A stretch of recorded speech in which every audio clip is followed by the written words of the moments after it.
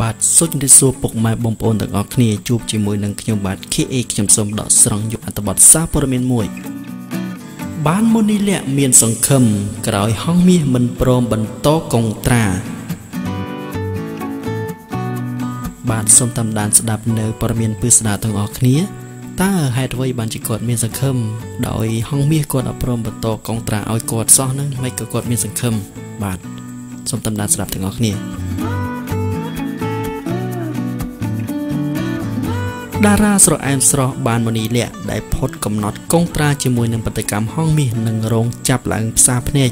ក្រែងថាកែប្រតិកម្មរូបនេះហៅឲ្យបន្តកងត្រាថ្មី តែគ្មានដំណឹងសូនឈឹង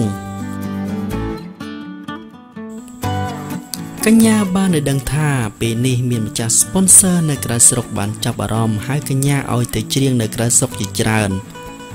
ប៉ុន្តែកញ្ញាចរចាមិនត្រូវថ្លៃគ្នាឡើយ ទើបសម្រេចចិត្តចេញទៅច្រៀងរាំនៅប្រទេសកូរ៉េខាងត្បូងសិន កាលពីថ្ងៃទី20ខែមេសានេះ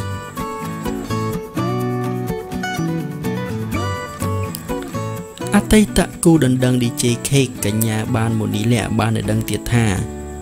នាងគ្មានការព្រួយបារម្ភច្រើនចំពោះការបាត់បង់ទីផ្សារក្រោយពេលអស់សិទ្ធជាតារានៅផលិតកម្មហងមាសនោះឡើយព្រោះនាងនៅតែមានការងារធ្វើដូចមុនអញ្ចឹង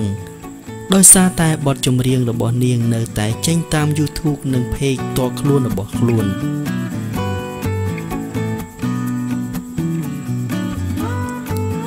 ប៉ុន្តែមូនីលក្ខសារភាពថានៅតែចង់ធ្វើជាតារាចម្រៀងហងមាសតទៅទៀតប្រសិនបើផលិតកម្មមួយនេះផ្ដល់សញ្ញាភ្លើងខៀវឲ្យនាងបន្តស្នាក់នៅប៉ុន្តែការរំពឹងនោះហាក់ដូចជាកាប់បំពង់រងចាំទឹកភ្លៀងអញ្ចឹងព្រោះថាហងមាស មិនបានហៅនាងទៅសញ្ញេបន្តកុងត្រាថ្មីឡើយ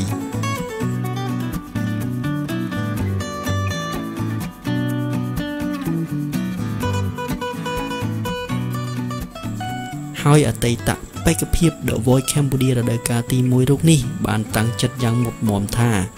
នាងនឹងមិនព្រមផ្សះផ្សាស្នេហ៍ជាមួយ DJ Cake ឡើយបើទោះជា DJ រូបនេះមើលទៅហាក់ដូចជាមិនទាន់អស់អាល័យក្តីស្នេហ៍ពីនាងក៏ដោយ មូនីលក្ខថា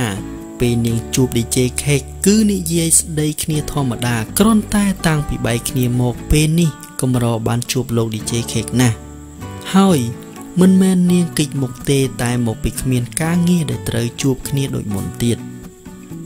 បើតាមព័ត៌មានថាក្រោយពីវិលត្រឡប់ពីច្រៀងនៅប្រទេសកូរ៉េខាងត្បូងវិញបានមូនីលក្ខនឹងត្រៀមដឹកដៃតារាចម្រៀងចែមចេញទៅច្រៀងសម្ដែងនៅសហរដ្ឋអាមេរិក នៅរដូវកាលភ្លៀងធ្លាក់នេះខណៈដែលមានការសង្ស័យថាមុនីលក្ខចូលច្រៀងនៅ Sunday ទៅហើយប៉ុន្តែលោកកឹមផូលីជំនួយការផលិតកម្ម Sunday បានប្រកែកចំពោះការសង្ស័យនេះបាទសូមបញ្ចប់នៅព្រឹត្តិការណ៍ព័ត៌មានតែត្រឹមនេះសិន សូមបងប្អូនជួយចុច Subscribe ចំពោះបងប្អូនដែលមិនទាន់បាន Subscribe ដើម្បីទទួលបានព័ត៌មានថ្មីៗប្រចាំថ្ងៃ បាទសូមអរគុណសូមជម្រាបលា